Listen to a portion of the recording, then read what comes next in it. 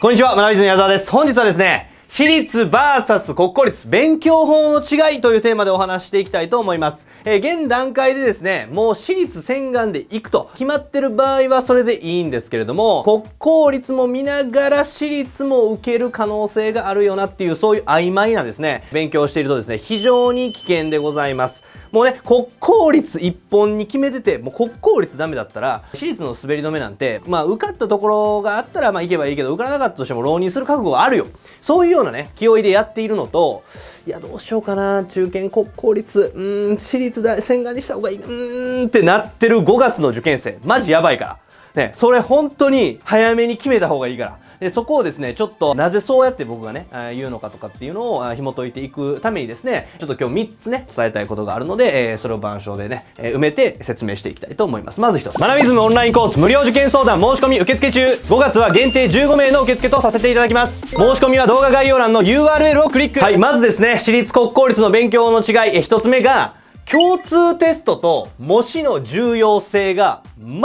全く国公立と私立違いますはい。当たり前ですけど、国公立の方が共通テスト模試であったり、えー共通テストの点数っていうのが非常に重要になってくるし、私立の子はマジで関係ないんですよね。これマジで関係ないっていうことがちょっとミソで、えーまず、えー国公立志望の方に向けてね、お話していくと、国公立目指してるんだったら、そもそも共通テストで、えー点数が取れないと2次受けないっていうムーブになるの分かります？来年の1月半ばにですね、えー共通テストの試験があって、その試験で出た結果、これぐらいの点数を出せれば、自分の志望校の試験が受けるから、これを目標にね、基本的に頑張ってると思うんですけど、その点数が出なかった時、そもそもちょっと惜しくも出なかったぐらいだったら、志望校を変える、まあ、2次受ける大学を変えるっていう形の動きが基本的な流れなんですけど、もう大きく国公立の場合共通テスト滑ってしまった時に、もうそもそも受けれる国公立ないと、いうようなことにもなりかねないので、共通テストの点数っていうのはめちゃくちゃ大事ですし、その共通テストとどれだけ自分が目標に対して離れてるのかっていうのを見れる共通テスト形式の模試、もしくは国公立の二次対策の記述模試っていうのは非常に重要になってきますね。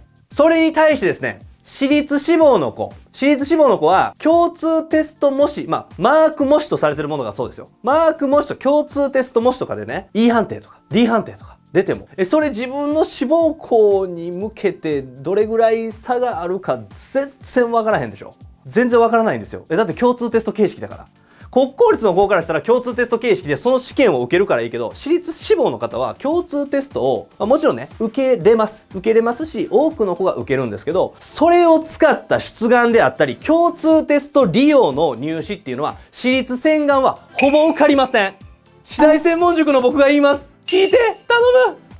マジで次第を志望してて共通テストで受かればいいなっていう考えは全員捨てろって学びの塾生には言います。そんなそんなことまあ受かる子はいるよ。受かる子はいるけど狙って受かれないからそれは。だって狙って共通テストの点数を上げてきてる国公立チームがいるのに私立洗顔であわよくば共通テストで受かる。そんなあんまないねん大学受験。うん、だから次第洗顔の子はですね共通テストの点数とか共通テスト系の模試マーク試験マーク模試とかでどんな判定が出てもマジで関係がないから基本的に過去問ベース自分の志望校の過去問ベースでどれだけ遠いのかっていうのをしっかり考えて勉強するようにしましょうはい、えー私立と国公立の勉強の違い1つ目は共通テストとか模試の重要性が全然違うということでしたはい、二つ目です。二つ目がですね、科目のバランスが全く違うと。これね、もうこれもマジ大事やねんけど、まあさ、国公立の子がね、国公立志望の子はバランスめちゃめちゃ上げ下げしていいんですよ。えどういうことかっていうと5か7科目8科目まあ大学によってはたくさんねあの受けないといけないまあもちろん3科目で受けれる国公立もありますけど基本的に5か7科目8科目とかで受ける大学を、えー志望してるとしましょう。そうなるとですね基本的には国公立というのは共通テストの点数と二次試験の点数これを合算した点数を出して、えー合費が決まります。で大学によっては共通テストの割合が多い大学もあればほとんどないんですけど共通テストの割合と二次試験の割合がトントン、まあ、1対1ぐらいの大学もあれば難しい大学になればなるほど共通テストの割合より二次の割合が多くなったりするわけですね。OK ですか？まあ、こういうような形になっていくとですね、例えば、例えば難しい大学の方が言ったらみんなに人気なわけじゃない？でその中で、まあ、多くはですね、共通テストの点数と2次の点数だったら2次の点数の方が高い傾向にあるわけですね。で、2次試験で全部5か7科目全部勉強しない、全部試験で使うっていうことはなくて、共通テストでしか使わない科目っていうのがあります。例えば理系で二次試験は英語、数学、物理、もしくは英語、数学、物理、科学とかで受験します。で、これはもちろん、えー、共通テストでもあります。でも、共通テストにしかない国語であったり、社会であったり、あるわけですよね。その中で、じゃあ、国語の特に漢文とか古文って200点中の50点とかじゃないですか。それって全体1000何点のうちの何パーセントなの？みたいな科目が生まれるんですよ、国公立っ。えだから自分が目指してる志望校がどれだけ高かったとしてもあまりにその割合が少ない科目については、え基本的にこれは勉強したとしてもリターンが少ないっていうことで結構勉強の量っていうのをもう減らすなんならやらないぐらいのことができます国公立は。ただ、次第はですね、もうそもそも3科目とか、なんなら2科目で受けれるとかね、科目絞っちゃってます。の中で、の中でよ、英語はできるんですけど、社会ができなくてとか、数学できるんですけど、英語できなくて、これ許されないんですよ、次第志望は。もうだってもう絞っちゃってるから。だって国公立の子は5か7科目8科目やるわけじゃないですか。で、なんなら共通テストで使った理科の科目を使えないような、めちゃめちゃ難しい、2次で使えないような、3科目理科勉強しないといけないようなね、大学もあったりするわけですから、もうめっちゃ勉強せなあかんわけですよ。わかります？だから、国公立と私立はですね、科目のバランスの戦略が全然変わります。全然。なんで、まあよくね、YouTube で出てるさ、いろんな他の塾の先生とかって結構東大とか京大とかさ、結構賢いところを出てる先生が多いなっていう風に感じるんだけど、その先生たちが言う科目のバランスをちゃんと考えながらやらないといけないっていうのは結構国公立によって言ってるよね。うん、僕たちももちろん次第でもバランスを取らないといけない部分はある。あるんだけど、基本的にできない科目は、できないというかやらない科目なんて私立大学ではないです。なので、科目のバランスが全く違うっていうのは知っておいてください。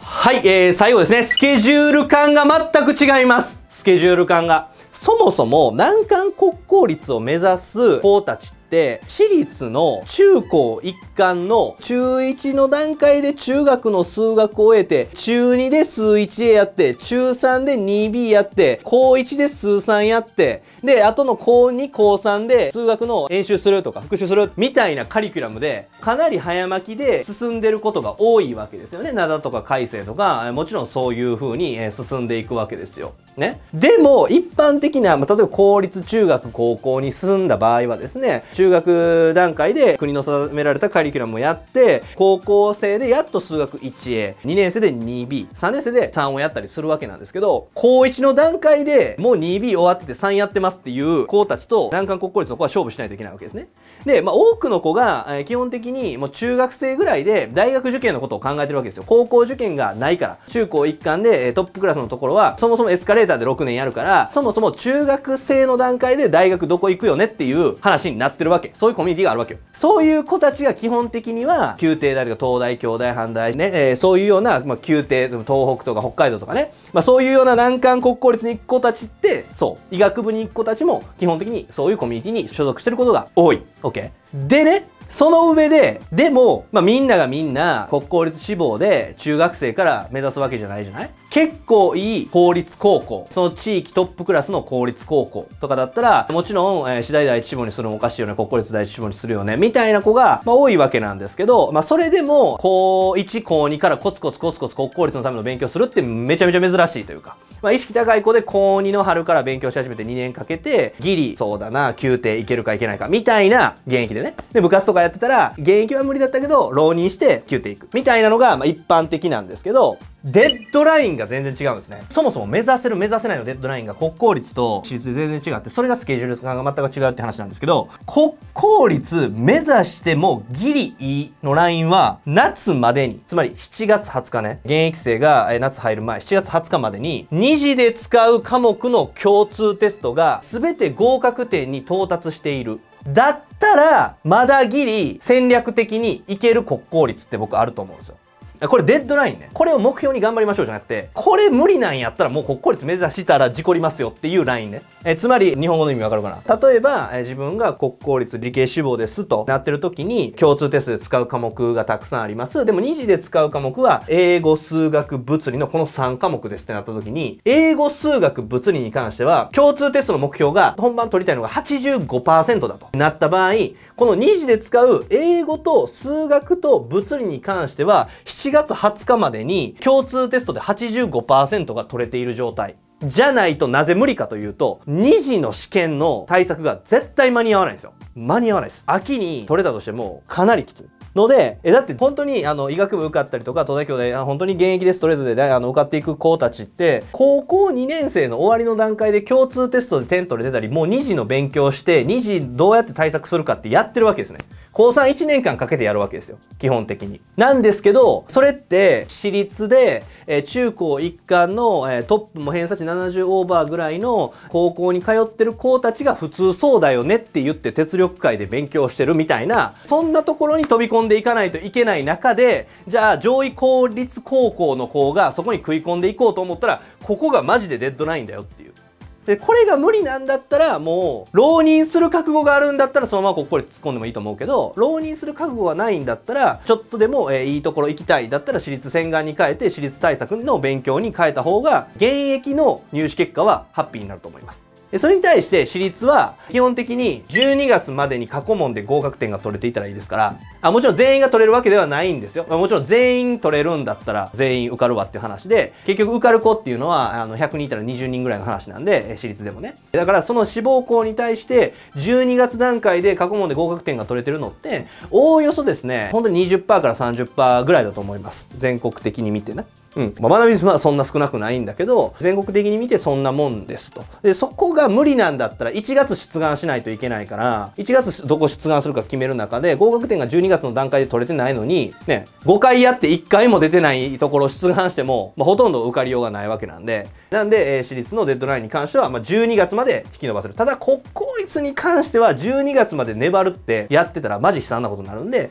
そのスケジュール感が全く違うよねっていうのが、私立と国公立の違いでございます。まあ、見る人が見たら、えこの国公立の夏までに2次で使う科目の共通テスト合格点取るっていうのが甘いでしょう。いや、もっと2年生の間には取らせたいでしょうってね、いうところがあってもおかしくないし、なんならもちろんそこまでできてなくても、まあ、国公立目指せるよってね、いうのは、あの、受け付けます。ありえます。だって、志望校がどこにかめっちゃ寄るから。だって科目が3科目で受けれる国公立もあるわけだし、別に宮廷宮廷って言ってるけど、宮廷が全てじゃないし、医学部が全てじゃないと思ってるから、絶対こうっていうわけじゃないけど、基本的に学びズムで国公立のカリキュラムを作るとき、コンサルでやるとき、あもちろんねあの国公立の子も受け入れてるわけなんですけど僕たちの教育理念というか指導方針っていうのに賛同してくれてね。でいるんですけど僕たちが計画を組むんだったら絶対にこのラインは守ります。これが取れてるような計画になってなかったらその計画はその子のためにならないと思うからこういうような計画を基本的には立てます。はい。えー、以上ですね、私立と国公立の勉強法の違いというのを話させてもらいました。まあ、このチャンネルを見てる子はですね、国公立のことあんまり興味なかったかもしれないですけど、イメージ、その国公立の方が非常に難しいイメージがありますけど、まあ、みんながよく知るような国公立以外はですね、基本的に総計の方が難しかったり、マーチ、カンカン、同率と同列ぐらいのレベルなんで、自分の道の選択だと思うんですね。